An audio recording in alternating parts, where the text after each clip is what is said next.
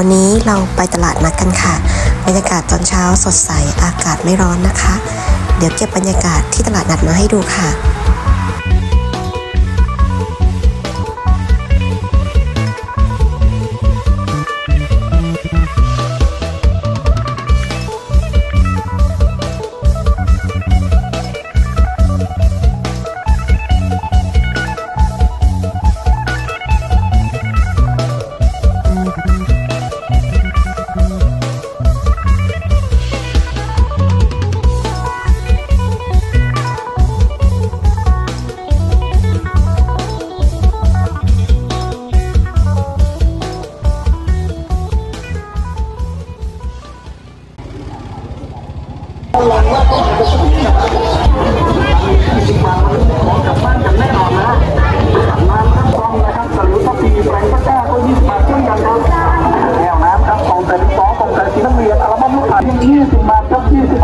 สินค้าราคาถูกๆหลากหลายรายการครับ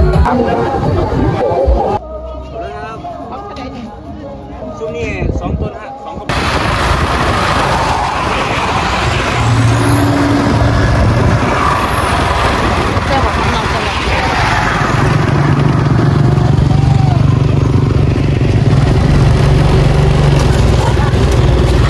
ย่างเทียน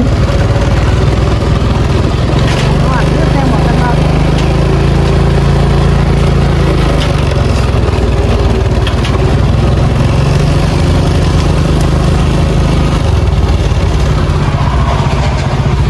คือถ้าเราจะดีดออกว่าวันนี้เห็นลงทุนอยู่เหมือนกันงานรับประจำค่ะ มีควายด้วยนะคะมีข้าว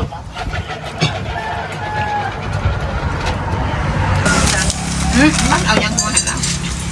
ยักเราก็ไม่ค่อยหัวจักเล็กแล้วที่มา